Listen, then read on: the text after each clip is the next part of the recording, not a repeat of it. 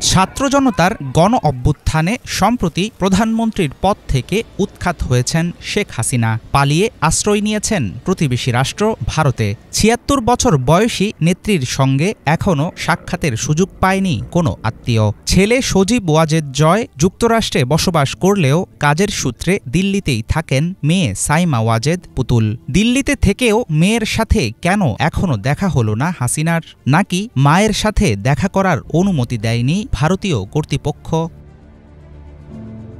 আট আগস্ট সামাজিক যোগাযোগ মাধ্যম এক্সে পুতুলের একটি পোস্ট থেকে জানা যায়, মায়ের সাথে তার এখনও দেখা হয়নি। সাইমা ওয়াজেদ সেই টুইটে লিখেছেন, এই কঠিন সময়েও আমার মাকে দেখতে পারছি না, তাকে জড়িয়ে ধরতে পারছি না, আমার হৃদয়ে ভেঙে যাচ্ছে। সেই পোস্ট থেকে তৈরি হয়েছে নানা রকম সন্দেহ। প্রশ্ন উঠেছে, তাহলে কি ভারতে গৃহবন্দী আছেন শেখ হাসিনা? বর্তমানে বিশ্ব স্বাস্থ্য সংস্থার দক্ষিণ পূর্ব এশিয়ার আঞ্চলিক পরিচালকের পদে রয়েছেন পুতুল। সংস্থাটির প্রধান কার্যালয় দিল্লিতে হওয়ায় বেশিরভাগ সময় সেখানেই থাকেন তিনি। পাঁচ আগস্ট সামরিক বাহিনীর হেলিকপ্টারে বাংলাদেশ ছেড়েছিলেন হাসিনা। সেই সময়ে থাইল্যান্ডে ছিলেন তার মেয়ে সাইমা। বিবিসি জানিয়েছে, ব্যাংককে একটি আন্তর্জাতিক সেমিনার ও অফিসের কাজকর্ম সেরে গত মঙ্গলবারই দিল্লি এসে পৌঁছেছেন তিনি।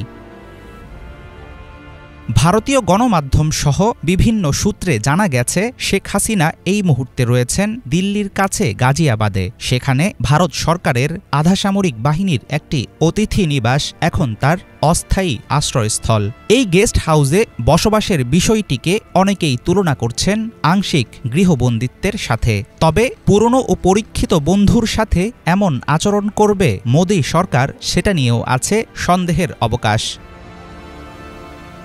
সদ্য প্রধানমন্ত্রীর পদ হারানো শেখ হাসিনার কন্যা ছাড়াও একটি ভিন্ন পরিচয় আছে সাইমা ওয়াজেদ পুতুলের। বর্তমানে তিনি আন্তর্জাতিক একটি সংস্থার শীর্ষ কর্মকর্তা। আগামীতেও সংস্থাটির আঞ্চলিক পরিচালকের দায়িত্বে কাজ করে যাবেন তিনি। হয়তো সে কারণেই দিল্লিতে এখনও মায়ের সাথে দেখা করতে পারেননি পুতুল। বাধা হয়ে উঠেছে তার পারিপার্শ্বিক পরিস্থিতি।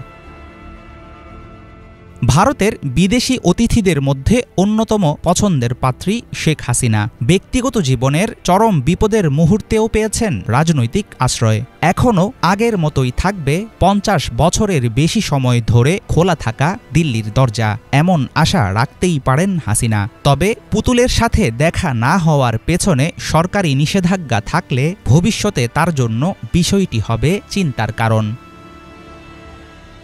হাফিজুল ইসলাম বাংলা ভিশন